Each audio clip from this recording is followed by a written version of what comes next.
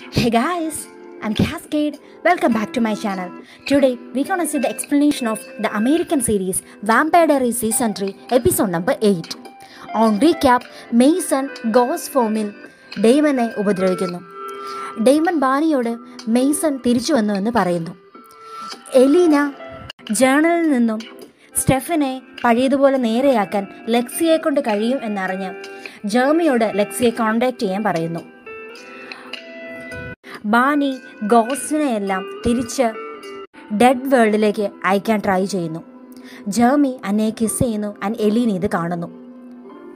ബാനി ആ ഏഷ്യൻ ബിൽഡിങ്ങിൽ വെച്ച് അവളുടെ ഗ്രാൻസിനെ പോയി കാണുന്നു ആൻഡ് ഗ്രാൻസ് അവളോട് ഗോസിനെ എല്ലാം തിരിച്ച് ഡെഡ് വേൾഡിലേക്ക് അയക്കാനും റിയൽ വേൾഡിനും ഡെഡ് വേൾഡിനും ഇടയിലുള്ള ആ ഡോറ് ക്ലോസ് ചെയ്യാനും പറയുന്നു.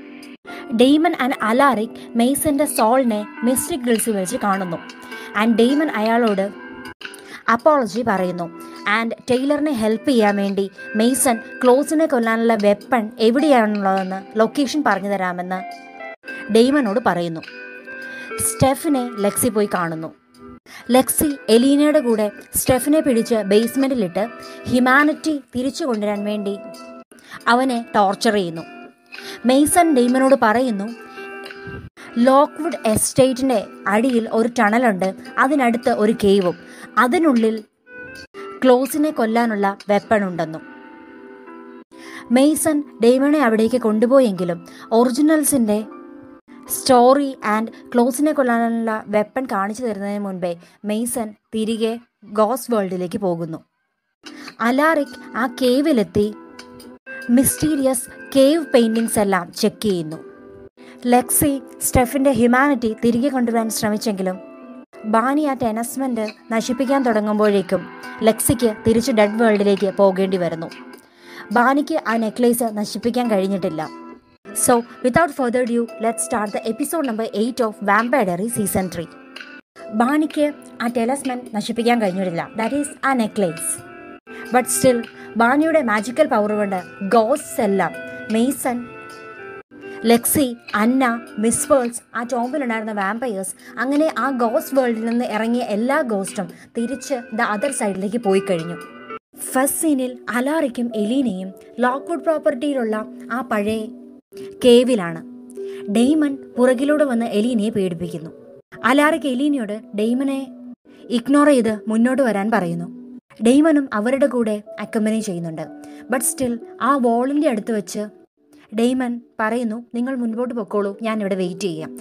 എലീന ചോദിക്കുന്നു അതെന്താ ഡെയ്മൻ ഉള്ളിലേക്ക് വരാൻ പറ്റില്ലേ? ഡെയ്മൻ റിപ്ലൈ ചെയ്യുന്നു ഇത് വളരെ പഴയ ഒരു ഏഷ്യൻ ബിൽഡിംഗ് ആണ്. ആൻഡ് ഇവിടെ എന്തോ സ്പെല്ല് ചെയ്തിട്ടുണ്ട് അതുകൊണ്ട് വാമ്പയേഴ്സിന് ഉള്ളിലേക്ക് കടക്കാൻ പറ്റില്ല. എലീന ചോദിക്കുന്നു ഏഷ്യൻ പ്രോപ്പർട്ടിയോ അതെങ്ങനെയാ വരുന്നത് ബിക്കോസ് ഇത് ലോക്ക്വുഡ് പ്രോപ്പർട്ടിയിലാണല്ലോ അലാറിക്ക് ആൻസർ ചെയ്യുന്നു ഇതിപ്പോഴാണ് ലോക്ക്വുഡ് പ്രോപ്പർട്ടിയായി മാറിയത്. നേരത്തെ ഇത് ഏഷ്യൻ സിവിലൈസേഷന്റെ ഒരു പാർട്ടായിരുന്നു. അലാറിക് എലീനയും കൂട്ടി ഉള്ളിലേക്ക് പോകുന്നു. ആൻഡ് അവിടെ വെച്ച് വോൾസിലെല്ലാം പല രീതിയിലുള്ള സ്ക്രിപ്റ്റ്സും സിമ്പിൾസും അവർക്ക് കാണാൻ സാധിക്കുന്നു. അലാറിക് എലീനിയോട് പറയുന്നു ഈ സിമ്പിൾസ് എല്ലാം ഏതെങ്കിലും ഒരു സ്റ്റോറി ആയിരിക്കും കാണിക്കുന്നത്. ഡിപ്പിക്റ്റ് ചെയ്യുന്നത്. ഏതെങ്കിലും ഒരു ഹിസ്റ്ററി. ഇന്നത്തെ മോഡേൺ സൊസൈറ്റിക്കും സിവിലിയൻസിനും മുൻപേ ഇവിടെ ഉണ്ടായിരുന്ന ഏതെങ്കിലും ഒരു സിവിലൈസേഷന്റെ ഭാഗമായിരിക്കണം ഈ സ്റ്റോറീസ് എല്ലാം. എലീന ആ വോളിലെല്ലാം ടോർച്ച് അടിച്ച് നോക്കുന്നു. എലീനയ്ക്ക് ഒന്നും മനസ്സിലാകുന്നില്ല. ഇവൻ അതിൽ എഴുതിയിരുന്ന ആൽഫബറ്റ്സ് പോലും ഇംഗ്ലീഷ് അല്ലായിരുന്നു. ആ പെയിന്റിങ്സ് എല്ലാം നോക്കുന്നു. അതിൽ ഒരെണ്ണം വെയർവൂൾഫിന്റേതായിരുന്നു അവിടെയെല്ലാം ഒരുപാട് സിമ്പിൾസ് ഉണ്ടായിരുന്നു. എല്ലാം കൂടെ കൂട്ടി ഒരു സ്റ്റോറി എക്സ്പ്ലെയിൻ ചെയ്യുകയാണ്. അലാറിക് പറയുന്നു ഹിസ്റ്റോറിക് ലാംഗ്വേജിൽ ഇവിടെ എന്തോ എഴുതിയിട്ടുണ്ട്. അത് വളരെ ഓൾഡായ ഒരു ലാംഗ്വേജ് ആണ്. അലാറിക് വളരെ ബുദ്ധിമുട്ടി അവിടെ എഴുതിയിരുന്ന ഒരു നെയിം വായിക്കുന്നു. ഇറ്റ് വാസ് നിക്ലൗസ് ഇത് കേട്ട് എലീന പറയുന്നു ഇത് ക്ലോസിന്റെ നെയിമാണല്ലോ അതിന് താഴെയായിട്ട് വേറൊരു നെയിം കൂടെ എഴുതിയിട്ടുണ്ട്. അലാറിക്ക് അത് വായിക്കുന്നു. ഇറ്റ് വാസ് റബേക്ക ആൻഡ് മറ്റൊന്നും കൂടി ഉണ്ടായിരുന്നു എലൈജ അവിടെ കൊണ്ട് സീൻ കട്ടായി നമ്മൾ ഒരു പാസ്റ്റിലെ സീൻ കാണിക്കുന്നു. എക്സാക്ട്ലി പറയുകയാണെങ്കിൽ A D nine seventy eight ആ സീനിൽ ക്ലോസ് ആൻഡ് റബേക്കയെ നമുക്ക് കാണാം. റബേക്ക ഒരു കേവിൽ അവളുടെ നെയിം എഴുതുകയാണ്. ഇത് കണ്ട ക്ലോസ് റബേക്കയോട് പറയുന്നു റബേക്ക നീ എന്താ ചെയ്യുന്നത്? എങ്ങാനും നീ ഇവിടെ ഇത് എഴുതിയ കാര്യം ഫാദർ അറിയുകയാണെങ്കിൽ നിന്നെ വഴക്ക് പറയും എന്നെ വഴക്ക് പറയും. റബേക്ക ആൻസർ ചെയ്യുന്നു ഞാനിവിടെ എന്റെ പേരെഴുതിയത് ഫാദർ എങ്ങനെ അറിയാൻ വേണ്ടിയാണ്? നീ പോയി പറഞ്ഞു കൊടുക്കോ? അവർക്ക് എങ്ങനെ അറിയാമെന്നേ നമ്മൾ ഈ കേവിലുണ്ടെന്ന്. ക്ലോസ് റബേക്കയോട് പറയുന്നു എനിക്ക് ഫാദറിനെ ഭയങ്കര പേടിയാണ്. അദ്ദേഹം എന്നോട് ദേഷ്യപ്പെടുമ്പോൾ അറിയാതെ ഞാൻ സത്യം പറഞ്ഞു പോകും റബേക്ക. റബേക്ക ആൻസർ ചെയ്യുന്നു നീ പേടിക്കണ്ട ക്ലോസ്. എന്ത് വന്നാലും ഞാൻ നിന്റെ കൂടെ തന്നെ കാണും. ഫാദർ ഇനി നിന്നോട് ദേഷ്യപ്പെടുകയാണെങ്കിൽ ഞങ്ങൾ ഉറപ്പായും നിന്നെ സപ്പോർട്ട് ചെയ്യാം. ക്ലോസ് റബേക്കയോട് പറയുന്നു നീ കിച്ചണിലേക്ക് പൊക്കോ റബേക്ക. ഞാൻ ഇവിടുത്തെ കാര്യങ്ങളൊക്കെ നോക്കിക്കോളാം. ആൻഡ് ഇതെല്ലാം മെന്നിന്റെ ജോലിയാണ്. റബേക്കയ്ക്ക് ഇത് തീരെ ഇഷ്ടമായില്ല. അവൾ അവിടെ കിടന്നൊരു കത്തിയെടുത്ത് ക്ലോസിന്റെ കയ്യിൽ വരിഞ്ഞു കീറുന്നു. And close റബേക്കയോട് ദേഷ്യപ്പെടുന്നു. ഇതെന്താ ചെയ്യുന്നതെന്ന്? റബേക്ക ആൻസർ ചെയ്യുന്നു റബേക്ക് റിപ്ലൈ ചെയ്യുന്നു മെൻ ഭയങ്കര സ്ട്രോങ് അല്ലേ? അപ്പോൾ വേദനയൊക്കെ ആകുക റബേക്ക പോയതിനു ശേഷം റബേക്ക എഴുതിയതിന് താഴെയായിട്ട് ക്ലോസ് അവന്റെ പേരും എഴുതി വെക്കുന്നു. ആ സീൻ കട്ടായി നെക്സ്റ്റ് സീനിൽ നമുക്ക് അലാറിക്കിനെ കാണാം. അലാർക്ക് വീണ്ടും ടോർച്ച് അടിച്ച് ആ വോളെല്ലാം സെർച്ച് ചെയ്യാണ്. അദ്ദേഹത്തിന് ഒരു നെയിമൂടെ കിട്ടുന്നു. ഇറ്റ് വാസ് മൈക്കിൾ എലീന ചോദിക്കുന്നു ഈ മൈക്കിൾ ദ വാമ്പയർ ഹണ്ടർ മൈക്കിളാണോ? അലാറിക് ആ വാൾ പെയിന്റിങ്സിന്റെ എല്ലാം ഫോട്ടോസ് കളക്ട് ചെയ്തുകൊണ്ട് സാൽവിറ്റർ മാൻഷനിലേക്ക് വരുന്നു. അലാറയ്ക്ക് ഒരു ഹിസ്റ്റോറിയൻ ആയതുകൊണ്ട് അയാൾക്ക് ഇതിലെല്ലാം നല്ല ഇൻട്രസ്റ്റ് ആണ്. അദ്ദേഹം ഫോട്ടോസ് എല്ലാം ചെക്ക് ചെയ്ത് അതിലോരോ ടാഗ്സും ഒക്കെ വെച്ച് അതിലെ സിമ്പിൾസ് വെച്ച് ആ സ്റ്റോറി കണ്ടുപിടിക്കാൻ ശ്രമിക്കുന്നു. ആ പെയിന്റിങ്സ് എല്ലാം അദ്ദേഹം ഒബ്സർവ് ചെയ്യുന്നു. ഇതേ സമയം എലീന ആൻഡ് ഡെയ്മൻ വാമ്പയർ ഹണ്ടിങ്ങിന്റെ പ്രാക്ടീസ് ചെയ്യുകയാണ്. ഡെയ്മൻ അലാറിക്കാൻ എലീനിയോട് പറഞ്ഞുകൊണ്ടിരിക്കുന്നു. ഈ കേവിനെ പറ്റിയും ഈ കേവിനുള്ളിൽ ക്ലോസിനെ കൊല്ലാനുള്ള ഒരു വെപ്പൺ ഉണ്ടെന്നും ഡെയ്മനെ അറിയിച്ചത് മെയ്സൺ ആണ് ഇതേ സമയം അലാറിക്കിന് ആ ഫോട്ടോസ് എല്ലാം കണ്ടിട്ട് ഒരു കൺക്ലൂഷനിലെത്താൻ സാധിക്കുന്നില്ല. എലീന അവിടേക്ക് വന്നിട്ട് അലാറിക്കിനോട് പറയുന്നു ഇത്രയും നമ്മൾ കഷ്ടപ്പെടണ്ട. ഈസിയായി ഈ സ്റ്റോറീസ് എന്താണെന്ന് കണ്ടുപിടിക്കാൻ എന്റെ കയ്യിലൊരു ട്രിക്കുണ്ട്. എനിക്ക് കുറച്ച് ടൈം മാത്രം തന്നാൽ മതി. അലാറിക് ചോദിക്കുന്നു എങ്ങനെ കണ്ടുപിടിക്കാമെന്ന് വിചാരിക്കുന്ന നീ എലീന? എലീന റിപ്ലൈ ചെയ്യുന്നു. റബേക്കയോട് ചോദിക്കാൻ പറ്റും. അലാറിക് ചോദിക്കുന്നു റബേക്കയോട് നീ ഓടിപ്പോയി ചോദിച്ചാൽ അവൾ നിന്നോട് കാര്യങ്ങളൊക്കെ പറയുമോ എലീന? എലീന റിപ്ലൈ ചെയ്യുന്നു അവളോട് ചോദിച്ചാൽ അവൾ തന്നെത്താൻ കാര്യങ്ങളെല്ലാം പറയും. ഇനി അവൾ പറയില്ലെന്നാ പറയുന്നെങ്കിൽ അവളെ എന്ത് പറഞ്ഞ ബ്ലാക്ക്മെയിൽ ചെയ്യേണ്ടെന്ന് എനിക്ക് നന്നായിട്ട് അറിയാം എലീന അവിടെ നിന്നും റബേക്കയുടെ അടുത്തേക്ക് പോകുന്നു. ഇതേ സമയം റബേക്ക സ്കൂളിലെ ഗ്രൗണ്ടിൽ ചിയർ ലീഡിംഗ് ടീമിലാണ് എലീനയും അവിടേക്ക് ചെല്ലുന്നു. ആൻഡ് എലീന റബേക്കയുടെ അടുത്ത് പോയി അവളോട് സംസാരിക്കുന്നു. എലീന റബേക്കയോട് പറയുന്നു എനിക്ക് നിന്നോട് കുറച്ച് കാര്യങ്ങൾ ചോദിക്കാനുണ്ട്. റബേക്ക പറയുന്നു എനിക്ക് നിന്നോട് സംസാരിക്കണ്ട. എലീന അലാറിക് കേവിൽ നിന്നും കളക്ട് ചെയ്ത പെയിന്റിങ്സിൽ വെച്ച് റബേക്കയുടെ പേരെഴുതിയിരുന്ന ഒരു ഫോട്ടോ എടുത്ത് റബേക്കയെ കാണിക്കുന്നു. ഇത് കണ്ടിട്ട് റബേക്ക എലീനയോട് ചോദിക്കുന്നു ഇതെല്ലാം നിനക്ക് എവിടെ നിന്നാണ് കിട്ടിയത്? ആൻഡ് നീ എന്തിനാ ഇതൊക്കെ അന്വേഷിച്ചുകൊണ്ട് നടക്കുന്ന എലീന? എലീന റബേക്കയോട് ചോദിക്കുന്നു മിസ്റ്റിക് ഫോൾസിൽ ഫൗണ്ടിങ് ഫാമിലീസിന് മുൻപേ നിങ്ങൾ ഇവിടെ എത്തിയിരുന്നു? നിങ്ങൾ ഇവിടുത്തെ റെസിഡൻസ് ആയിരുന്നു? അല്ലേ റബേക്ക നിനക്ക് ബുദ്ധിമുട്ടില്ലെങ്കിൽ നിന്റെ സ്റ്റോറി എന്നോട് പറയാൻ പറ്റുമോ? റബേക്ക പറയുന്നു എനിക്ക് ആ സ്റ്റോറീസ് ഒന്നും നിന്നോട് പറയേണ്ട ഒരു ആവശ്യമില്ല ഇവിടുന്ന് എത്രയും പെട്ടെന്ന് പൊക്കോ. എലീന ഇത് കേട്ടിട്ട് റബേക്കയോട് പറയുന്നു റബേക്ക ഒന്ന് ആലോചിച്ച് നോക്ക്. ഈഫ് ഞങ്ങൾ മൈക്കിളിനെ എഴുന്നേൽപ്പിക്കുകയാണെങ്കിൽ ഉണർത്തുകയാണെങ്കിൽ എന്തായിരിക്കും ഉണ്ടാകുന്നത്? റബേക്ക ഇത് കേട്ട് നന്നായി പേടിക്കുന്നു. അവൾ എലീനയോട് പറയുന്നു എലീന നീ അങ്ങനെ ചെയ്യില്ല. അങ്ങനെ നീ ചെയ്താൽ നമ്മളെല്ലാവരും മരിക്കും. ആൻഡ് മൈക്കിൾ ഇപ്പോൾ എവിടെയാണെന്ന് നിനക്കറിയില്ല. നിനക്കത് കണ്ടുപിടിക്കാനും പറ്റില്ല. അതുകൊണ്ട് അത് വിട്ടേക്ക്. എലീന റബേക്കയോട് പറയുന്നു മൈക്കിൾ എവിടെയാ ഉള്ളതെന്ന് എനിക്കറിയാം. ആ ടോംബിൽ നിങ്ങൾ അയാളെ ലോക്ക് ചെയ്തിട്ടിരിക്കുന്ന കാര്യം എനിക്ക് നന്നായി അറിയാം. ചിലപ്പോൾ ഞങ്ങൾ അയാളെ തുറന്നു വിടുമായിരിക്കും. ഇത് കേട്ട് റബേക്കയ്ക്ക് നല്ല ദേഷ്യം വരുന്നു. റബേക്കയ്ക്ക് മനസ്സിലാകുന്നു ഇവർക്കറിയാം മൈക്കിളിനെ എവിടെയാണ് ലോക്ക് ചെയ്ത് വെച്ചിരിക്കുന്നതെന്ന്. റബേക്ക അവിടുന്ന് പോകുന്ന മുമ്പ് എലീനയോട് പറയുന്നു ഞാൻ ഇവിടുന്ന് പോകുക എന്റെ പുറകെ വരരുത്. എലീന റബേക്ക പോകുന്നത് നോക്കിയിരിക്കുന്നു. ഇതേസമയം അലാറിക് അദ്ദേഹത്തിന്റെ ഭാഗത്തു നിന്നും ആ സിമ്പിൾസിനെ എല്ലാം അനലൈസ് ചെയ്യാൻ ട്രൈ ചെയ്യുകയാണ്. ആ കേവിലുണ്ടായിരുന്ന ഓരോ സിമ്പിളിനും ഓരോ മീനിങ് ആണുള്ളത്. ചിലത് വെയർവുൾഫിനെയാണ് സിമ്പലൈസ് ചെയ്തിരുന്നത്. ചിലതാകട്ടെ വാമ്പയേഴ്സിനെയും ആൻഡ് ബാക്കി റിമൈനിങ് ആയിട്ടുള്ള സിമ്പിൾസ് എല്ലാം അദ്ദേഹം ചെക്ക് ചെയ്തുകൊണ്ടിരിക്കുകയാണ് ബുക്സ് അതിനെപ്പറ്റിയുള്ളത് റീഡ് ചെയ്യുന്നു. അദ്ദേഹം അന്വേഷിച്ചുകൊണ്ടേയിരിക്കുന്നു അതിലെ സിമ്പിൾസ് ഏതെല്ലാം സിമ്പിൾസ് എന്തിനെയൊക്കെയാണ് റെപ്രസെന്റ് ചെയ്യുന്നത്? അങ്ങനെയൊക്കെ. കിട്ടിയ ഇൻഫർമേഷൻ എല്ലാം വെച്ച് അദ്ദേഹം ഒരു സ്റ്റോറി മെയിന്റെയിൻ ചെയ്യാനും ശ്രമിക്കുന്നു. ഇതേ സമയം നെക്സ്റ്റ് സീനിൽ നമുക്ക് എലീനെ കാണാം. എലീന അലാറിക്കിന്റെ റൂമിലേക്ക് വരുന്നു. എലീന ഇതേ സമയം ആരെയോ കോൾ ചെയ്യുന്നുണ്ട്. ഡെയ്മിനെയാണ് അവൾ കോൾ ചെയ്യുന്നത് അവൾ ഡെയ്മിനെ വിളിച്ചിട്ട് പറയുന്നു സ്റ്റെഫൻ ബേസ്മെന്റ് ആണ്. അവനെ ഒന്ന് പോയി നോക്കിയിട്ട് വാ. ഡെയ്മൻ സ്റ്റെഫനെ നോക്കാൻ വേണ്ടി കാരോളിനെ പൂട്ടിയിട്ട് ആ പ്രസന്റിലേക്ക് പോകുന്നു. അവിടെ ചെന്നിട്ട് സ്റ്റെഫിന്റെ സ്റ്റേജ് കണ്ട് ഡെയ്മന് നല്ല വിഷമം തോന്നുന്നു. ഡെയ്മൻ ഗേറ്റ് തുറന്നുകൊണ്ട് സ്റ്റെഫിനോട് ചോദിക്കുന്നു സ്റ്റെഫൻ നീ ചത്തോ? അതോ ഇപ്പോഴും ഉണ്ടോ? സ്റ്റെഫൻ റിപ്ലൈ ചെയ്യുന്നു നീ എന്നെ പത്ത് വർഷം ഇന്നത്തെ പൂട്ടിയിട്ടാലും ഇരുപത് വർഷം പൂട്ടിയിട്ടാലും ഞാൻ മാറാൻ പോകുന്നില്ല. ഹ്യൂമാനിറ്റി ഓണാക്കാൻ പോകുന്നില്ല. ഇതെല്ലാം നിങ്ങൾ ചെയ്യുന്ന വെറുതെയാണ്. ആൻഡ് ഞാൻ എങ്ങനെയാണോ ഇപ്പോഴുള്ളത് അങ്ങനെ തന്നെ ഞാൻ ഇരിക്കും. And by the way Damon നിങ്ങൾ എന്തൊക്കെയോ പ്ലാൻ ചെയ്യുന്നില്ലേ?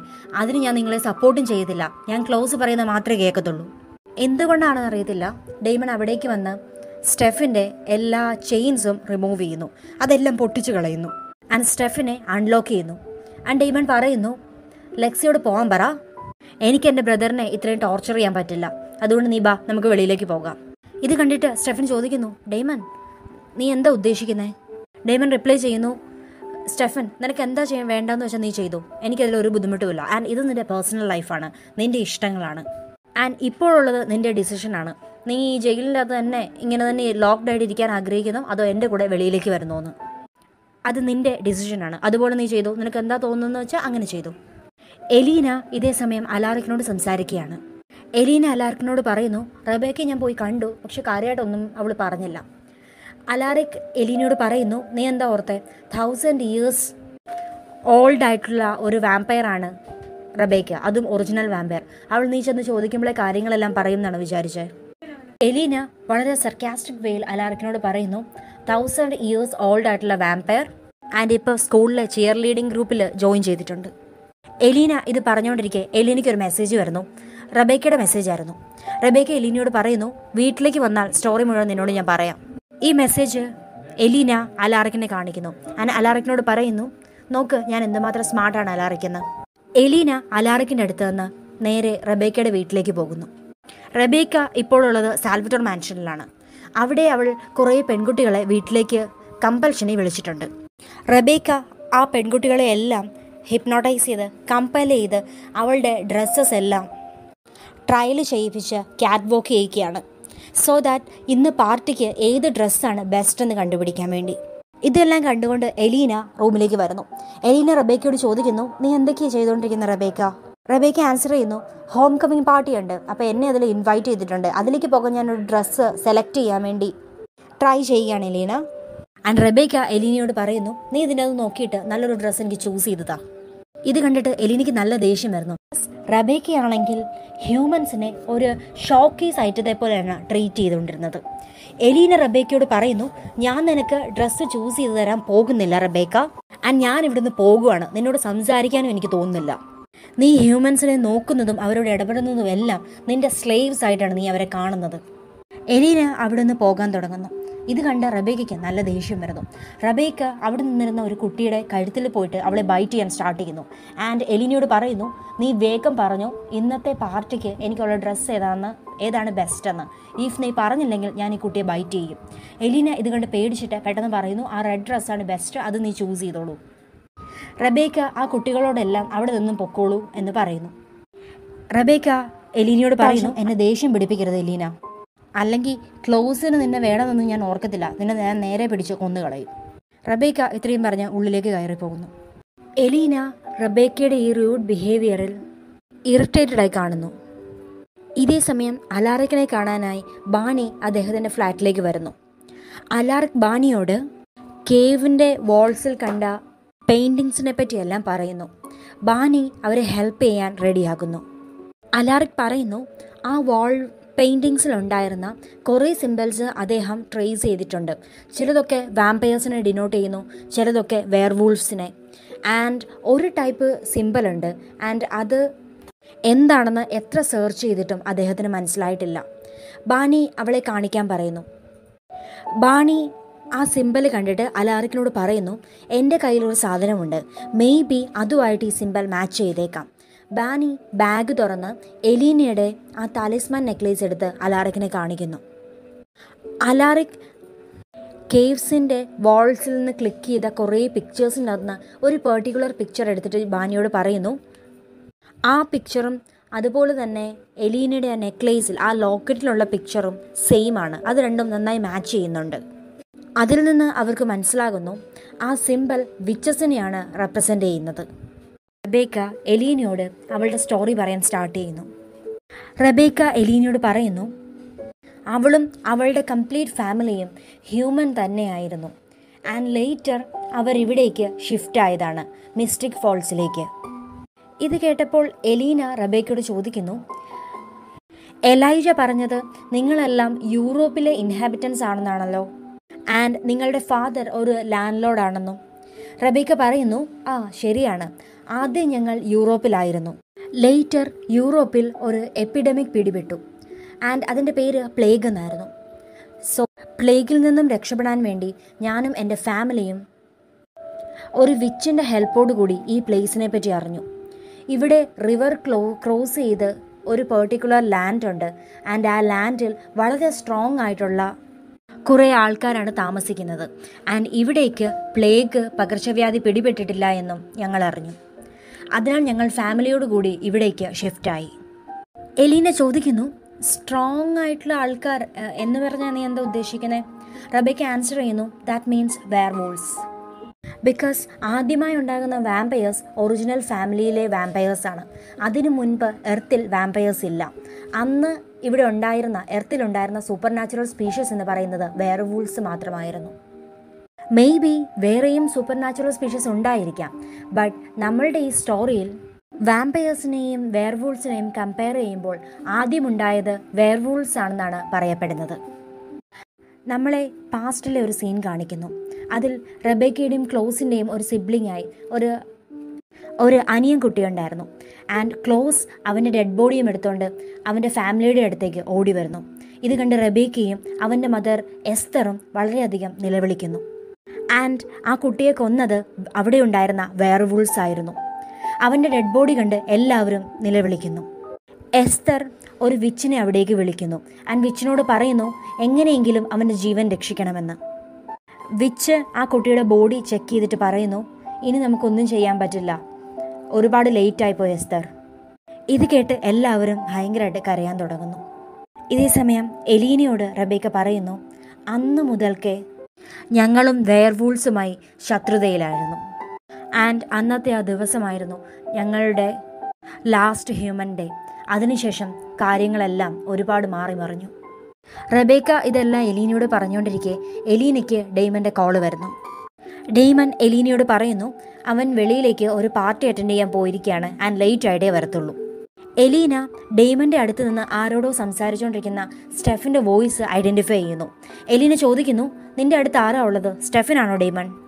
ഡെയ്മൺ അതേന്ന് പറയുന്നു. എലീന ഡെയ്മനോട് ചൂടാകുന്നു. എന്തിനാണ് സ്റ്റെഫിനെ അൺലോക്ക് ചെയ്തതെന്നും അവനെ ആ പ്രസനിൽ നിന്നും റിലീസ് ചെയ്തതെന്നും ഒക്കെ ഡെയ്മനോട് ചോദിക്കുന്നു.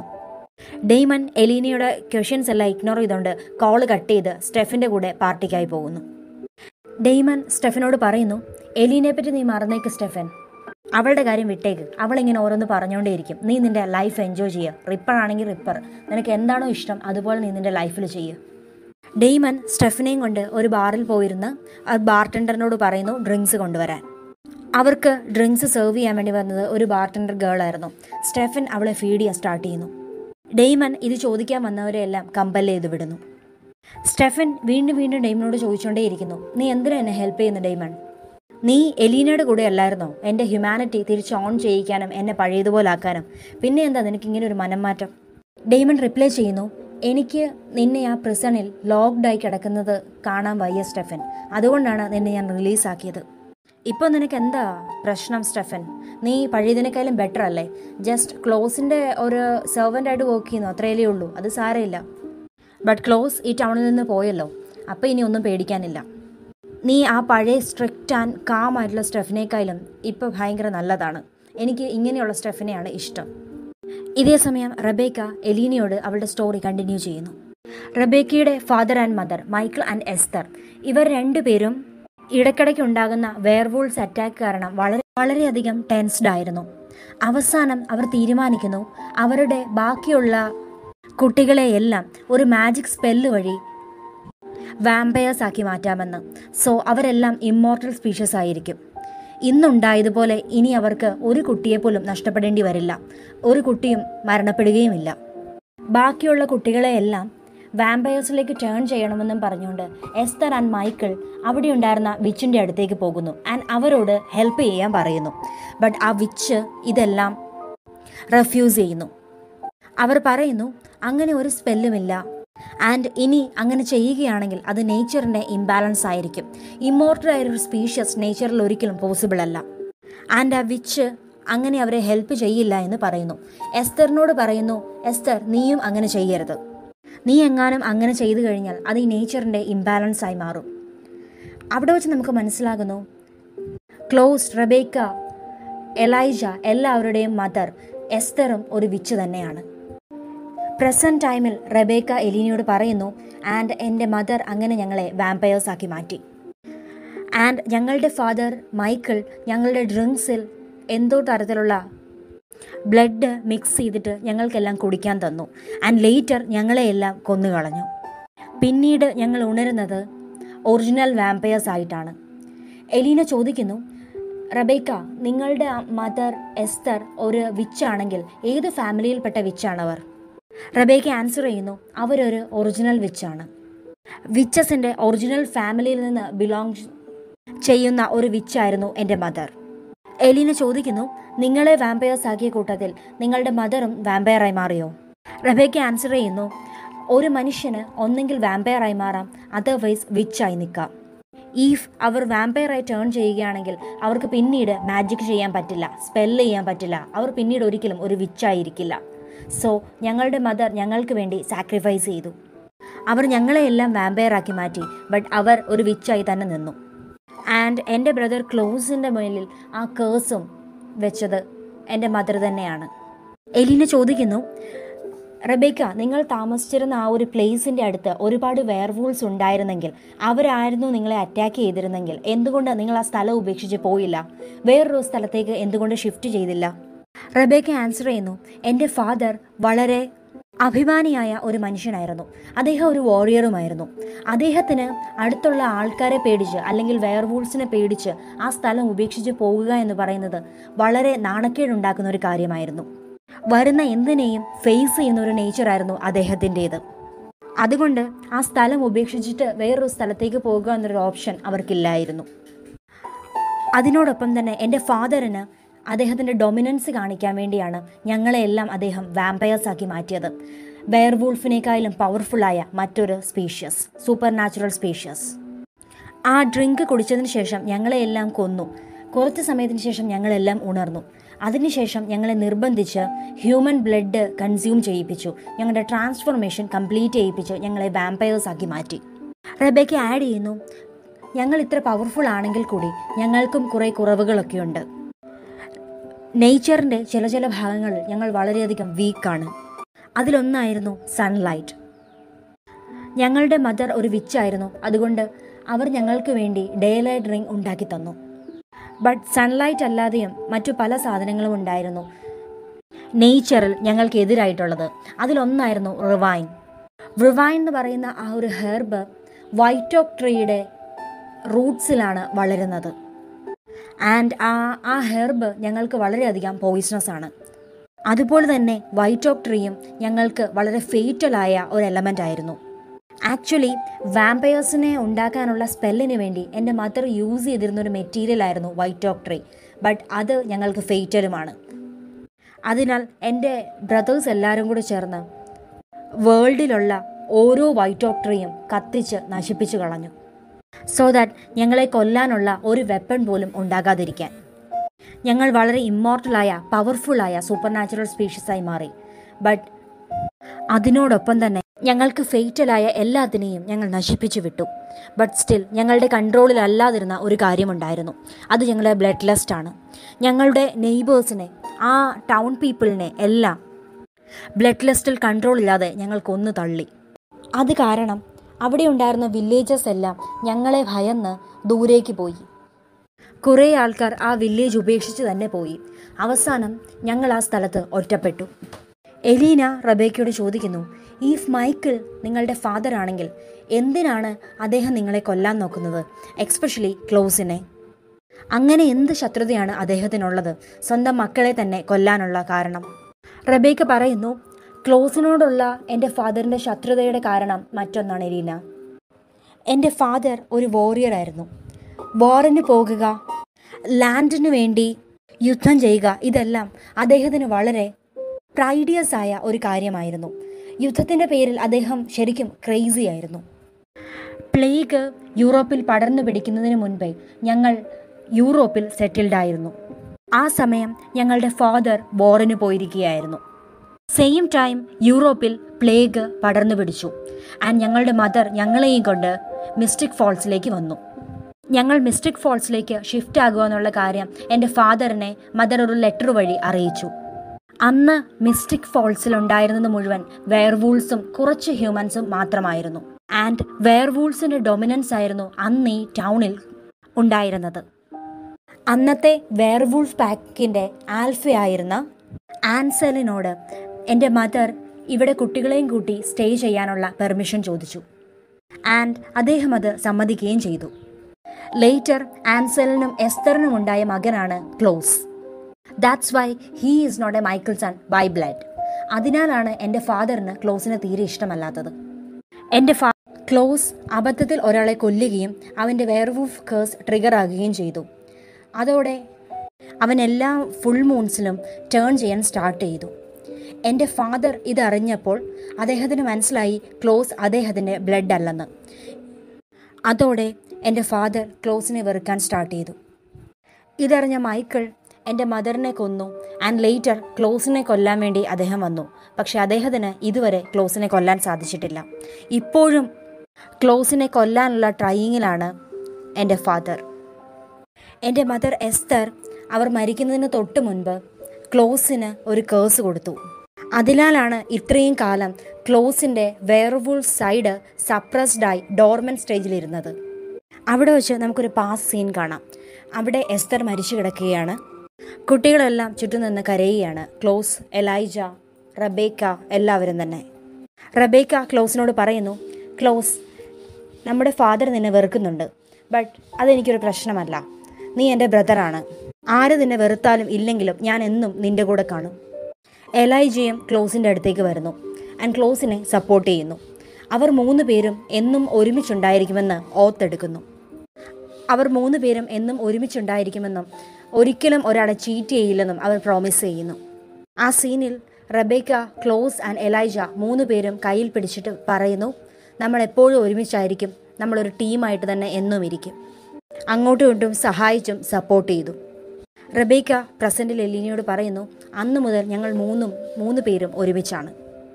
ഞങ്ങൾക്കെല്ലാം ഓരോരോ ക്വാളിറ്റിയാണുള്ളത്. ഞാനാണെങ്കിൽ വളരെയധികം സ്റ്റബേൺ ആണ്. എലൈജ ആണെങ്കിൽ വളരെയധികം ലോയലാണ് ആൻഡ് നോബിളും എന്റെ ബ്രദർ ക്ലോസ് ആണെങ്കിൽ വളരെ ഷോർട്ട് ടെമ്പേർഡ് ആണ്. ആൻഡ് അതിനാൽ അവൻ എല്ലാവരെയും കൊന്നും കളയും. എലീന റബേക്കയോട് ചോദിക്കുന്നു ആ ക്ലോസ് എല്ലാവരെയും കൊല്ലാറുണ്ട്. ഷോർട്ട് ടെമ്പേർഡുമാണ് ബട്ട് സ്റ്റിൽ റബേക്ക നിന്നെ അവൻ ഇത്രയും വർഷങ്ങളായിട്ട് ആ കഫിനുള്ളിൽ അടച്ചു വെച്ചിരിക്കുകയല്ലായിരുന്നോ? റബേക്ക റിപ്ലൈ ചെയ്യുന്നു എന്തൊക്കെ ചെയ്താലും അവൻ എന്റെ ബ്രദറാണ് ആൻഡ് കുറച്ചു കാലം എന്നെ കഫിനിൽ ലോക്ക് ചെയ്താലും ഞാൻ ഇമ്മോർട്ടലാണ് ഞാൻ ഇമ്മോർട്ടലായ ഒരു സൂപ്പർ നാച്ചുറൽ സ്പീഷ്യസ് ആണ് ആൻഡ് ഇമ്മോർട്ടൽ ലൈഫിൽ നിന്ന് കുറച്ച് ടൈം അവൻ എന്നെ കഫിനിൽ ലോക്ക് ചെയ്ത് വെച്ചാലും എനിക്കൊന്നും പോകാനില്ല. ആൻഡ് അവൻ എന്റെ ബ്രദറാണ് അവൻ എന്ത് ചെയ്താലും എന്തെല്ലാം എന്നെ പറഞ്ഞാലും ഞാൻ അവനെ വളരെയധികം സ്നേഹിക്കുന്നുണ്ട്. ഞാൻ സമ്മതിക്കുന്നു. ചിലപ്പോൾ അവൻ കുറേ പ്രാവശ്യം എന്നെ സ്റ്റാബ് ചെയ്ത് ആ കഫിനിനുള്ളിൽ പൂട്ടിയിട്ടിട്ടുണ്ടായിരിക്കാം. ബട്ട് അവൻ എങ്ങനെ ബിഹേവ് ചെയ്താലും അവൻ എനിക്ക് എന്റെ ബ്രദർ തന്നെയാണ്. ആൻഡ് അതുപോലെ തന്നെ റബേക്ക എലീനിയോട് ഇനി ഇങ്ങനത്തെ ക്വസ്റ്റ്യൻ എന്നോട് ചോദിക്കരുതെന്നും പറയുന്നു. റബേക്ക എലീനിയോട് പറയുന്നു ഇത്രയൊക്കെ എനിക്ക് പറയാനുള്ളൂ. എലീന നീ ഇവിടുന്ന് പൊക്കോ. ആക്ച്വലി എലീനയുടെ ഈ ക്വസ്റ്റ്യൻ കേട്ട് റബേക്ക നന്നായി ട്രിഗേർഡ് ആയിട്ടുണ്ടായിരുന്നു. അവൾക്ക് നന്നായിട്ട് ദേഷ്യം വരുന്നുണ്ട്. എലീന റബേക്കയോട് പറയുന്നു ക്ലോസ് തിരിച്ച് ടൗണിലേക്ക് വന്നാൽ ചിലപ്പോൾ സ്റ്റെഫിനെയും എലീനയെയും കൊന്നു കളഞ്ഞേക്കും. റബേക്ക ആൻസർ ചെയ്യുന്നു ക്ലോസിനെ കൊല്ലാൻ നോക്കുകയോ അതോ എന്റെ ഫാദർ മൈക്കിളിനെ റിലീസ് ചെയ്യാനോ ശ്രമിച്ചാൽ എലീന നിന്നെ സ്റ്റെഫിനെ കൊല്ലാൻ വേണ്ടി ക്ലോസ് വരേണ്ടി വരില്ല. ഞാൻ തന്നെ നിങ്ങളെ രണ്ടുപേരെയും തീർത്ത് കളയും. ഞാനിവിടെ ഉള്ളപ്പം എന്റെ ബ്രദറിനെ കൊല്ലാമെന്ന് നീ ഒരിക്കലും വിചാരിക്കണ്ട. എലീന അവിടെ നിന്നും ഇറങ്ങിപ്പോകുന്നു. നെക്സ്റ്റ് സീനിൽ സ്റ്റെഫൻ ആൻഡ് ഡെയ്മനെ കാണാം. അവർ രണ്ടുപേരും ഡ്രിങ്ക് ചെയ്യുന്നുണ്ട്.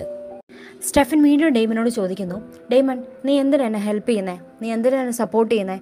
ഞാനാണെങ്കിൽ ക്ലോസിനെ സപ്പോർട്ട് ചെയ്യുകയാണ് ക്ലോസിന്റെ കൂടെയാണ്. ആൻഡ് ക്ലോസ് പറഞ്ഞിട്ടാണ് ഞാൻ ഈ ടൗണിൽ നിൽക്കുന്നതും എലീനയുടെ ചുറ്റും നടക്കുന്നതും. ഡെയ്മൺ റിപ്ലൈ ചെയ്യുന്നു ആ മേ ബി സ്റ്റെഫൻ നീ ക്ലോസിന് വേണ്ടിയായിരിക്കും വർക്ക് ചെയ്യുന്നത് ബട്ട് സ്റ്റിൽ നീ ഇപ്പോൾ കുറച്ചുകൂടെ ബെറ്റർ ആയിട്ടുണ്ട്. ഡെയ്മൺ സ്റ്റെഫിനോട് പറയുന്നു എത്രയും പെട്ടെന്ന് ക്ലോസിനെ കൊല്ലണം. ഇല്ലെങ്കിൽ ഈ ക്ലോസ് എലീനയ്ക്കും എനിക്കും ഒരു ഭീഷണിയായിരിക്കും. അവിടേക്ക് വന്ന് ഒരാൾ പറയുന്നു ക്ലോസിനെ ഞാൻ ടേക്ക് ഓവർ ചെയ്തോളാം. സ്റ്റെഫൻ ആൻഡ് ഡെയ്മൻ സ്ട്രെയിഞ്ച് ആയിട്ട് അയാളുടെ സൈഡിലേക്ക് നോക്കുന്നു ആൻഡ് അത് മൈക്കിളായിരുന്നു the vampire hunter Michael. Michael അവരുടെ അടുത്തേക്ക് വന്നിട്ട് പറയുന്നു അയാൾ ക്ലോസിനെ വളരെ എളുപ്പത്തിൽ കൊന്നു കളഞ്ഞോളാം ആൻഡ് എനിക്ക് തോന്നുന്നത് നിങ്ങൾ സാൽവറ്റോർ ബ്രദേഴ്സ് ആണെന്നാണ്. സ്റ്റെഫിൻ ആൻഡ് ഡെയ്മൺ മൈക്കിളിനെ കണ്ട് കുറച്ച് സന്തോഷമാകുന്നു ബട്ട് കുറച്ചവർക്ക് പേടിയുണ്ട്. ബിക്കോസ് മൈക്കിൾ ഒരു വാമ്പയർ ഹണ്ടർ ആണ്. മൈക്കിൾ സ്റ്റെഫിനോട് ക്ലോസ് ഇപ്പോൾ എവിടെയാണെന്ന് ചോദിക്കുന്നു. സ്റ്റെഫിൻ പറയുന്നു അവനിപ്പോൾ ക്ലോസിന്റെ കമ്പൽഷനിലാണ്. സോ അവന് ഒന്നും പറയാൻ പറ്റില്ല. മൈക്കിൾ ഉടനെ സ്റ്റെഫിനോട് പറയുന്നു ഓക്കെ ദെൻ ക്ലോസിനെ തിരിച്ച് മിസ്റ്റിക് ഫോളിലെത്തിക്ക്. ആൻഡ് അങ്ങനെയാണെങ്കിൽ ഞാൻ അവനെ ഈസിയായിട്ട് കൊന്നു കളഞ്ഞേക്കാം ആൻഡ് ക്ലോസിനെ കൊല്ലണം എന്നുള്ളത് എന്റെ റെസ്പോൺസിബിലിറ്റിയാണ്. ഇത് കേട്ടിട്ട് സ്റ്റെഫിൻ ഒന്നും പറയുന്നില്ല. അവിടെ ഞാൻ മൈക്കിൾ ചോദിക്കുന്നു ശരി നിങ്ങൾ ഇത് പറ. ക്ലോസിനെ നിങ്ങൾ ഏറ്റവും അവസാനം എവിടെയാണ് കണ്ടത്? ആൻഡ് അവൻ എന്താ നിങ്ങളോട് പറഞ്ഞത്? സ്റ്റെഫിൻ വീണ്ടും മൈക്കിളിനോട് പറയുന്നു എനിക്കതും നിങ്ങളോട് റിവീൽ ചെയ്യാൻ പറ്റില്ല മൈക്കിൾ. ഇത് കേട്ട് മൈക്കിൾ ഡെയ്മനെ അറ്റാക്ക് ചെയ്യുന്നു. ആൻഡ് ഡെയ്മന്റെ ഹാർട്ട് കൈയിട്ട് വെളിയിലേക്ക് എടുക്കാൻ നോക്കുന്നു. ആൻഡ് സ്റ്റെഫിനോട് പറയുന്നു നീ ഈ ആൻസർ പറഞ്ഞില്ലെങ്കിൽ ക്ലോസിന്റെ ലൊക്കേഷൻ എവിടെയാണെന്ന് പറഞ്ഞില്ലെങ്കിൽ അടുത്ത സെക്കൻഡിൽ നിന്റെ ബ്രദർ ഡെയ്മൺ മരിക്കും. സ്റ്റെഫിൻ വീണ്ടും പറയുന്നു അവൻ അണ്ടർ കമ്പൽഷനിലാണ്. ഒന്നും അതിനെപ്പറ്റി പറയാൻ പറ്റില്ല. മൈക്കിൾ സ്റ്റെഫിനോട് പറയുന്നു ഏയ് അങ്ങനെ വരാൻ ഒരു ചാൻസും ഇല്ല. കമ്പൽഷനും എന്തെങ്കിലും ഒരു ലൂപ്പ് ഹോൾ കാണും. നീ ആലോചിച്ചിട്ട് പറ. നീ ആലോചിച്ച് ലൂപ്പ് ഹോൾ എന്താന്ന് കണ്ടുപിടിച്ചിട്ട് ക്ലോസിന്റെ ലൊക്കേഷൻ എന്നോട് പറ. ഇല്ലെങ്കിൽ നിന്റെ ബ്രദർ ഡെയ്മനെ ഞാൻ കൊന്നുകളയും. ആൻഡ് നീ ആലോചിക്കുക സ്റ്റെഫൻ കമ്പൽഷൻ നിന്റെ ബ്രദറിന്റെ ലൈഫിനേക്കാളും ഇമ്പോർട്ടന്റ് ആണോ? ആൻഡ് ഇതും പറഞ്ഞുകൊണ്ട് ഡെയ്മന്റെ ഹാർട്ട് വെളിയിലേക്ക് എടുക്കാൻ തുടങ്ങുന്നു. ഡെയ്മന് നല്ല വേദനയുണ്ട്. അവൻ നിലവിളിക്കുന്നു. സ്റ്റെഫൻ മൈക്കിളിനോട് പറയുന്നു എനിക്ക് ക്ലോസ് ഇപ്പോൾ എവിടെയാണെന്നും എന്തിനാണ് പോയിരിക്കുന്നതെന്നും അവന്റെ മോട്ടോ എന്താണെന്നും മിഷൻ എന്താണെന്നും ഒന്നും നിങ്ങളോട് പറയാൻ പറ്റില്ല. ബട്ട് എനിക്ക് നിങ്ങളോട് പറയാൻ പറ്റുന്ന ഒരേ ഒരു കാര്യമുള്ളൂ എന്റെ ബ്രദറിനെ കൊല്ലരുത്. ആൻഡ് നിങ്ങൾക്ക് വേണ്ടി വേണമെങ്കിൽ ഞാൻ ക്ലോസിനെ തിരിച്ച് ടൗണിലേക്ക് എത്തിക്കാം. മൈക്കിൾ ഡെയ്മനെ വിട്ടിട്ട് പറയുന്നു ആ അതായാലും മതി. നീ എത്രയും പെട്ടെന്ന് ക്ലോസിനെ തിരിച്ച് മിസ്റ്റിക് ഫോൾസിലേക്ക് എത്തിക്കുക. ബാക്കി കാര്യം ഞാൻ നോക്കിക്കോളാം. മൈക്കിൾ അദ്ദേഹത്തിന്റെ കേർച്ചീഫ് എടുത്ത് ഡെയ്മന്റെ ബ്ലഡ് വൈപ്പ് ചെയ്തുകൊണ്ട് പറയുന്നു ക്ലോസിന് എന്താണെന്നും ഞാൻ ഇപ്രാവശ്യം കൊന്നു കളഞ്ഞിരിക്കും. അവിടം കൊണ്ട് ആ സീൻ കട്ടായി നെക്സ്റ്റ് സീനിൽ എലീനെ കാണിക്കുന്നു. അലാറിക് എലീനയെയും ബാനിയെയും കൊണ്ട് ലോക്ക്വുഡ് എസ്റ്റേറ്റിന് അണ്ടർനീത്ത് ആയിട്ടുള്ള ആ കേവിലേക്ക് വന്നിട്ടുണ്ട്.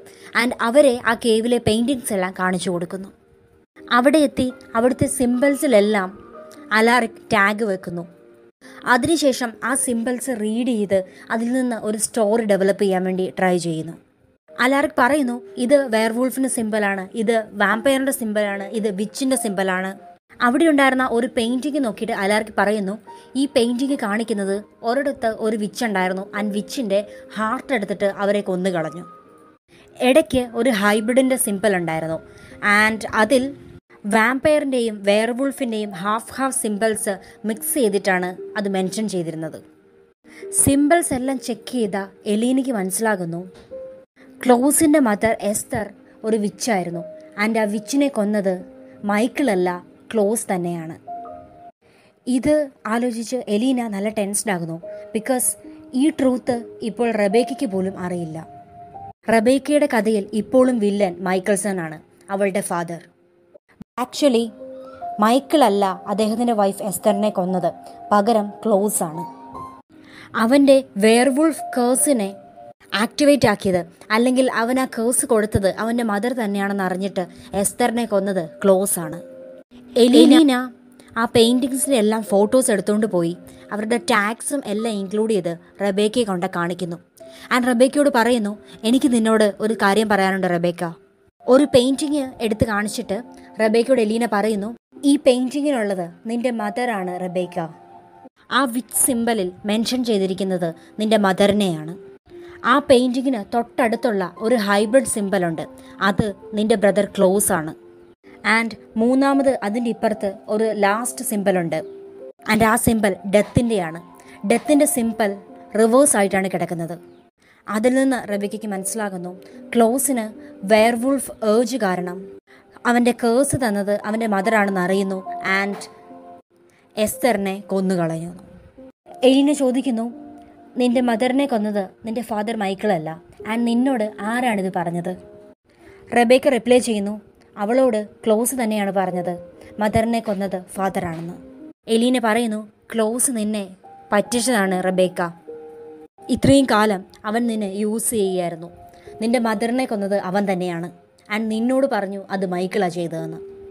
റബേക്ക വളരെ സ്ട്രോങ് ആയിട്ട് റിയാക്ട് ചെയ്യുന്നു. റബേക്ക പറയുന്നു എലീന നീ എന്താ പ്രൂവ് ചെയ്യാൻ പോകുന്നത്? എന്റെ ബ്രദർ നുണയനാണെന്നോ? അതോ ഈ ഫോട്ടോ കാണിച്ച് ഞാൻ വിശ്വസിക്കണമെന്നോ? ഇങ്ങനെ എന്തെങ്കിലും ഒന്ന് കാണിച്ചിട്ട് എന്റെ ഫാമിലിയെ പറ്റി എന്തെങ്കിലുമൊക്കെ വിളിച്ചു പറഞ്ഞാൽ ഞാൻ വിശ്വസിക്കുമെന്ന് നീ കരുതിയോ? ഞാൻ എന്തിനു നിന്നെ വിശ്വസിക്കണം? ആൻഡ് ഞാൻ നീ പറയുന്ന ഒന്നും വിശ്വസിക്കുന്നുമില്ല. റബേക്ക ദേഷ്യത്തിൽ വന്ന് ആ ഫോട്ടോ എല്ലാം കത്തിച്ചു കളയുന്നു. ആൻഡ് റബേക്ക ആ ഔജിൽ വന്ന് എലീനെ അറ്റാക്ക് ചെയ്യുന്നു. റബേക്കയുടെ ഐസ് റെഡ് ആകുന്നു. എലിൻ ഇത് കണ്ട് നന്നായി പേടിച്ചിരുന്നു. റബേക്ക സ്വയം കൺട്രോൾ ചെയ്യാൻ ട്രൈ ചെയ്യുന്നു. റബേക്ക ആലോചിക്കുന്നു അങ്ങനെ എങ്ങനെയാണ് പറ്റുന്ന ക്ലോസിന് എങ്ങനെയാണ് എസ്തറിനെ കൊല്ലാൻ പറ്റുന്നത്? അത് അവന്റെയും കൂടി മദറല്ലേ? റബേക്ക വളരെയധികം ഡിപ്രസ്ഡ് ആകുന്നു. അവൾ അവിടെ ഇരുന്ന് കരയാൻ സ്റ്റാർട്ട് ചെയ്യുന്നു. അവസാനം റബേക്ക ആ സത്യം അംഗീകരിക്കുന്നു. അവൾ പറയുന്നു അതെ ക്ലോസ് തന്നെയാണ് എന്റെ മദറിനെ കൊന്നത്. റബേക്ക അവിടെ ഇരുന്ന് കരയുന്നു. അവൾ ആകെ കൂടെ തകർന്നു പോയിരുന്നു. അവിടെ കൊണ്ട് ആ സീൻ കട്ടായി നെക്സ്റ്റ് സീനിൽ ഡെയ്മൻ ആൻഡ് സ്റ്റെഫിനെ കാണാം. അവരാ ബാറിൽ നിന്ന് ഇറങ്ങി വഴിയിലൂടെ നടന്ന് സംസാരിക്കുകയാണ്. ഡെയ്മൻ സ്റ്റെഫിനോട് പറയുന്നു ഇപ്രാവശ്യവും നീ എന്റെ ലൈഫ് സേവ് ചെയ്തു സ്റ്റെഫൻ. ഡെയ്മൻ സ്റ്റെഫനോട് ചോദിക്കുന്നു ഈവൻ ഇഫ് നിന്റെ ഹ്യൂമാനിറ്റി ഓഫ് ആണെങ്കിലും നീ എന്തിനാ എന്റെ ലൈഫ് സേവ് ചെയ്തത് സ്റ്റെഫൻ? സ്റ്റെഫൻ റിപ്ലൈ ചെയ്യുന്നു ആ എനിക്ക് അപ്പം അങ്ങനെ തോന്നി ഞാൻ അങ്ങനെ ചെയ്തു. ഞാൻ അങ്ങനെ അറിഞ്ഞു. ഇത് കഴിഞ്ഞു കഴിഞ്ഞിട്ട് നീ ഇതിന്റെ പേരിൽ ഇത്രയും ഡ്രാമ ഉണ്ടാക്കുമെന്ന്. ഡെയ്മൻ അവിടെ നിന്നും എലീനയുടെ അടുത്തേക്ക് പോകുന്നു. എലീനയുടെ റൂമിൽ ചെന്ന് അവളുടെ ബെഡിൽ കയറി കിടക്കുന്നു. എലീന ഇത് കണ്ട് ഡെയ്മനോട് പറയുന്നു ഈ ടൈമിൽ ഇവിടെ എന്ത് ചെയ്യണം ഡെയ്മൻ ഡെയ്മൻ എലീനയോട് പറയുന്നു എലീന ഞങ്ങൾ മൈക്കിളിനെ കണ്ടുപിടിച്ചു കഴിഞ്ഞു. ആൻഡ് അയാൾ ക്ലോസിനെ എന്നേക്കുമായി കൊന്നു കളഞ്ഞേക്കും. ഇത് കേട്ട് എലീന കുറച്ച് ഹാപ്പി ആകുന്നു. ഡെയ്മൻ എലീനയോട് ചോദിക്കുന്നു എലീന നീ എന്നോട് ദേഷ്യത്തിലാണോ? ബിക്കോസ് ഞാൻ സ്റ്റെഫിനെ ആ പ്രസനിൽ നിന്നും റിലീസ് ചെയ്തതിന്റെ പേരിൽ. എലീന ഡെയ്മനോട് പറയുന്നു നിങ്ങൾ രണ്ട് ബ്രദേഴ്സും എന്താണെന്ന് വെച്ചാൽ തോന്നിവാസം കാണിക്കും. എനിക്കെന്നാ എലീന ബെഡിലേക്ക് വന്ന് കിടക്കുന്നു. ഡെയ്മൻ കണ്ടിന്യൂ ചെയ്യുന്നു ഞാൻ അറിഞ്ഞുകൊണ്ടാണ് സ്റ്റെഫിനെ റിലീസ് ചെയ്തത് ലീന. ബിക്കോസ് മൈക്കിളിനെ കൊണ്ട് ക്ലോസിനെ കൊല്ലിക്കണമെങ്കിൽ ക്ലോസിനെ ടൗണിലേക്ക് എത്തിക്കണം. അതിനുവേണ്ടി ക്ലോസിന്റെ സൈഡിൽ നമ്മുടെ ആരെങ്കിലും ഉണ്ടാകുന്നത് വളരെയധികം നല്ലതാണ്. ഇതേ സമയം എലീന ഡെയ്മനോട് റബേക്കയെ പറ്റി പറയുന്നു. എലീന പറയുന്നു റബേക്ക നമ്മൾ വിചാരിച്ച പോലെ അത്ര ക്രൂവലായ ഒരു പേഴ്സൺ ഒന്നും അല്ല അവളുടെ കൂടെ കുട്ടിക്കാലത്ത് സംഭവിച്ചത് ചെറിയ ചെറിയ കാര്യങ്ങളൊന്നുമല്ല. ചെറുപ്പത്തിൽ തന്നെ അവളുടെ മദർ മരിച്ചുപോയി. ആൻഡ് അവൾ അവളുടെ ബ്രദറിന്റെ കൂടെയാണ് നിൽക്കുന്നത്. ക്ലോസിന്റെ കൂടെ. അവൾ അവളുടെ ബ്രദർ ക്ലോസിനെ വളരെയധികം സ്നേഹിക്കുന്നുണ്ട്. ബട്ട് അവന് തിരിച്ച് അവളെ വലിയ കെയർ ഒന്നുമില്ല. ആൻഡ് അവൾ ഇന്ന് അറിഞ്ഞിട്ടുണ്ട് അവളുടെ മദറിനെ കൊന്നത് അവളുടെ ബ്രദർ ക്ലോസ് തന്നെയാണെന്ന്. അവൾ വളരെ ഇമോഷണൽ ബ്രേക്ക് ഡൗണിലൂടെയാണ് കടന്നു പോയിക്കൊണ്ടിരിക്കുന്നത് എലീനി ഇതെല്ലാം പറഞ്ഞ് ഡെയ്മന്റെ ഇപ്പുറത്ത് കിടന്ന് ഉറങ്ങാൻ സ്റ്റാർട്ട് ചെയ്യുന്നു. ഡെയ്മൺ അവിടെ നിന്ന് എഴുന്നേറ്റ് പോകുന്നില്ല. എലീന അവിടെ കിടന്ന് ഉറങ്ങുന്നു. ഡെയ്മൺ അവൾക്ക് നേരെ നോക്കിക്കൊണ്ടേയിരിക്കുന്നു. അവിടെ കൊണ്ട് ആ എപ്പിസോഡ് എൻഡ് ആക്കുന്നു. So guys I hope you like this episode original ഫാമിലിയെ പറ്റി ഒരു സ്കാറ്റേഡ് ആയിട്ടുള്ള സ്കെച്ച് നമുക്ക് കിട്ടിക്കഴിഞ്ഞു. റബേക്ക നമ്മളോട് പറഞ്ഞ കഥയിൽ വെച്ച് പാസ്റ്റിൽ ഒറിജിനൽ ഫാമിലിയിൽ എന്തൊക്കെയാണ് നടന്നതെന്നും എന്തിനാണ് ഇവരിതൊക്കെ ചെയ്തതെന്നുള്ളതിനൊക്കെ ഒരു ഏകദേശ ധാരണ മാത്രമേ നമുക്ക് കിട്ടിയിട്ടുള്ളൂ. For an exact clear image and story we need to meet that exact characters in our story Rebekah റബേക്കയുടെ ഭാഗത്തു നിന്നുള്ള ഒരു സ്റ്റോറിയാണ് നമുക്കിപ്പം എക്സ്പ്ലെയിൻ ചെയ്ത് പറഞ്ഞു തന്നിരിക്കുന്നത്. ബട്ട് അതിൽ എന്തുമാത്രം സത്യമുണ്ടെന്നും എന്തുമാത്രമാണ് അതിന്റെ ട്രൂത്ത് എന്നുള്ളതും വരുന്ന എപ്പിസോഡ്സിൽ നമുക്ക് കണ്ടറിയാം. ബിക്കോസ് അവൾ ഇപ്പോൾ തന്നെ പറഞ്ഞ കാര്യങ്ങളെ കോൺട്രഡിക്റ്റ് ചെയ്തുകൊണ്ടാണ് അലാറിക്കിന്റെയും എലീനയുടെയും എവിഡൻസ് വെച്ചുള്ള ഇൻവെസ്റ്റിഗേഷൻ മുന്നോട്ട് പോകുന്നത്. സോ അതിലൂടെ കഥയ്ക്ക് കൂടുതൽ ക്ലാരിറ്റി കിട്ടുമെന്ന് നമുക്ക് ഹോപ്പ് ചെയ്യാം. ആൻഡ് റബേക്കയുടെ കഥയനുസരിച്ച് നമുക്ക് ക്ലിയർ ആകുന്നു. ക്ലോസ് അവന്റെ മദറിനെ തന്നെ കൊന്നിട്ട് അതിന്റെ കുറ്റം അവന്റെ ഫാദറിന്റെ തലയിൽ ചാരി വെച്ചു. ആൻഡ് അതുപോലെ തന്നെ മൈക്കിൾ ഒരു ഹ്യൂമൻ ആണെന്നാണ് റബേക്ക പറഞ്ഞത്. ബട്ട് മൈക്കിൾ ഇപ്പോൾ ഒരു വാമ്പയർ ഹണ്ടറാണ് എങ്ങനെയാണ് രണ്ടും കൂടെ പോസിബിൾ ആകുന്നത്? അതിന്റെ അർത്ഥം നമ്മൾ അറിയാതെ ഇതിന്റെ ഇടയിൽ കൂടെ കുറേ ലൂപ്പായിട്ടുള്ള സ്റ്റോറീസും നടക്കുന്നുണ്ട്. For all the stories stay tune with me and ഖ്യാസ് കേഡ് will be back to you with another episode of Vampire Diary season three if you like my videos please like and share it to your family and friends and don't forget to subscribe my channel watch out and stay safe I will be back till then take care and bye